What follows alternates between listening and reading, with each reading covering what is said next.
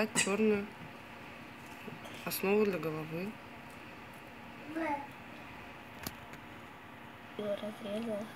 Затем мы раскатываем белый воздушный пластилин с помощью скалки или подручных средств.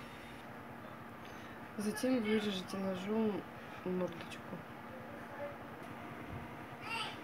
Затем приделывайте белое наше лицо к черной основе. Затем сверху делаем белую такую шапочку. И ее тоже приделываем. А, а. И затем голову маршмеллоу можно надеть на ручку. Ну вот. Бла-бла-бла. Бла-бла.